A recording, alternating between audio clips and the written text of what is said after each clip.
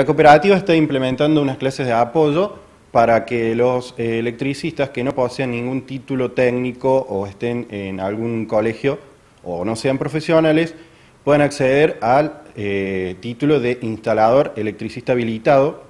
para luego poder eh, emitir los certificados que va a pedir la ley 10.281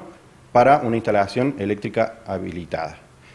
La cooperativa va a dar clases de apoyo para que los eh, electricistas no tengan que viajar a otra ciudad y puedan, en una eh, más acotado, poder cursarlo y, bueno, después aprobar el examen para obtener la habilitación correspondiente. Tienen que anotarse aquí en la cooperativa, consultar, las clases se van a dar a partir del 17 de abril, cuatro horas semanales, 10 clases en el IPETAIM, eh, de 7 y media a 11 y media de la noche. ¿Tiene costo para los interesados? No, ningún costo. La cooperativa ha, impulsado esto sin ningún costo para que para comodidad de los, de los usuarios y de los asociados. lo que es el, curso, lo que se va a dar a dictar ahora, eh, es de importancia, eh, dado la, por ahí la dificultad que pueden tener muchos trabajadores del, área eléctrica en poder viajar o movilizarse a cada uno de los puntos donde están llevando a cabo los cursos. Entonces, eh, la cooperativa está trabajando ha hecho un esfuerzo en poder organizar estas clases de apoyo para poder dar un poco más de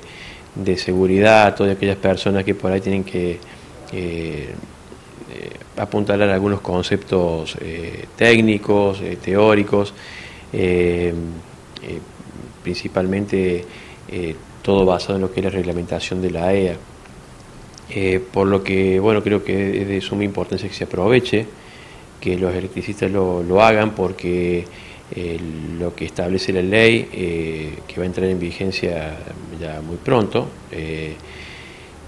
va a ser necesario para ellos para que puedan seguir realizando sus tareas y eh, debido a que se van a exigir justamente la documentación correspondiente a cada una de las obras que ellos hagan en los inmuebles o, en comercios para que para que bueno que ellos puedan asumir con, fundamento de la responsabilidad que se les va a conferir. Eh, vale la salvedad que esto no es una capacitación de grado, sino que es un certificado de habilitación. Exactamente, eh, justamente ellos, esto es para, para ellos habilitarlos, que queden, eh, que queden bien preparados y puedan, pueden asumir, como decía, esa responsabilidad. Ellos van a tener que firmar o van a tener que hacerse responsables por las obras que, que ejecuten. Entonces la capacitación y el hecho de rendir eh, tiene como finalidad el hecho de poder este, otorgar este, este certificado que, para que bueno, ellos puedan trabajar bien, se sienten puedan estar más seguros de lo que están haciendo, entiendan bien cómo van a ser eh, los mecanismos, el funcionamiento de todo lo que son las obras eléctricas